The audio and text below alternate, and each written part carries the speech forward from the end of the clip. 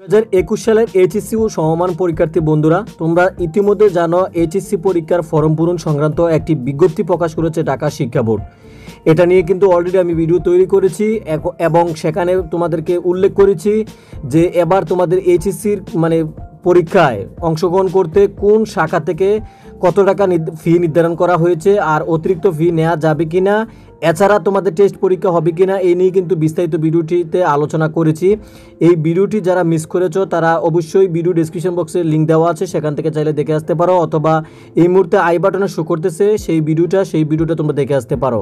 এখানে এইচএসসি পরীক্ষা অংশগ্রহণ করার জন্য এক বা দুই বিষয়ে যারা ফেল করেছে, তারা কীভাবে অংশগ্রহণ করবে? এই সংক্রান্ত এই তথ্যটি প্রকাশ করেছে এই ঢাকা শিক্ষা বোর্ডের এই বিজ্ঞপ্তিতে। বিজ্ঞপ্তিতে কি বলেছে সেই বিষয়টা তোমাদেরকে জানাব। অর্থাৎ এইচএসসি পরীক্ষায় বিগত বছরে যারা এক বা দুই বিষয়ে ফেল করেছে, তারা কীভাবে পরীক্ষা অংশগ্রহণ করতে পারবে বা তারা কি ফর্ম পূরণ করতে হবে কিনা? এই সংক্রান্ত বিস্তারিত জানার জন্য তোমরা পুরো ভিডিওটি কন্টিনিউ করো। বিজ্ঞপ্তিতে যা বলা হয়েছে, দেখো তোমরা, এক বা দুই বিষয়ের পরীক্ষায় অংশগ্রহণ সংক্রান্ত। ক নাম্বার দিয়েছে যে সকল পরীক্ষার্থী দুই হাজার আঠারো উনিশ সালের এইচএসসি পরীক্ষায় এক বা একাধিকবার অংশগ্রহণ করে এক বা দুই বিষয়ে চতুর্থ বিষয় বাদে, অর্থাৎ তোমাদের যে ঐচ্ছিক সাবজেক্ট আছে সেই সাবজেক্ট বাদে অকৃতকার্য বা অনুপস্থিত হয়েছ। রেজিস্ট্রেশনে মেয়াদ থাকলে তারা দু হাজার একুশ সালে অনুষ্ঠিতব্য এইচএসসি পরীক্ষায় অবশিষ্ট অকৃতকার্য বা অনুপস্থিত বিষয় বা বিষয়সমূহে পরীক্ষায় অংশগ্রহণ করতে পারবে। আংশিক বিষয়ে অংশগ্রহণকারী পরীক্ষার্থীগণ কখনোই চতুর্থ বিষয়ের পরীক্ষায় অংশগ্রহণ করতে পারবে না।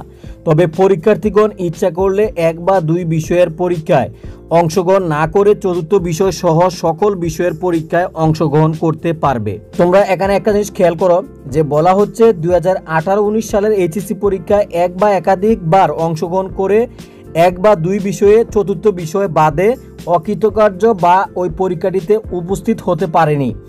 যদি রেজিস্ট্রেশনের মেয়াদ থাকে, তাহলে সেক্ষেত্রে তারা দু হাজার একুশ সালের এইচএসসি পরীক্ষায় অনুষ্ঠিতব্য। উক্ত অকৃতকার্য বা অনুপস্থিত থাকা বিষয়সমূহের পরীক্ষায় অংশগ্রহণ করতে পারবে। তার মানে তাদেরকেও ফর্ম পূরণে অংশগ্রহণ করতে হবে।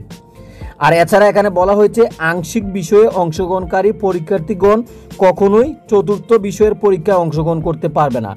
তার মানে চতুর্থ বিষয়ে অংশগ্রহণ করতে পারবে না, তোমরা বুঝতে পারছ। আর এছাড়া আরও বলা হয়েছে, পরীক্ষার্থীগণ ইচ্ছা করলে এক বা দুই বিষয়ের পরীক্ষায় অংশগ্রহণ না করে চতুর্থ বিষয় সহ সকল বিষয়ের পরীক্ষায় অংশগ্রহণ করতে পারবে। অর্থাৎ টোটালি চাইলে আবার সম্পূর্ণ বিষয়গুলো এইচএসসি পরীক্ষার্থীদের যে বিষয়গুলো রয়েছে বা যেসব শিক্ষার্থী এক বা দুই বিষয়ে ফেল করেছে ওই সব শিক্ষার্থীগুলো চাইলে তারা সম্পূর্ণ বিষয়ের উপর পরীক্ষায় অংশগ্রহণ করতে পারবে।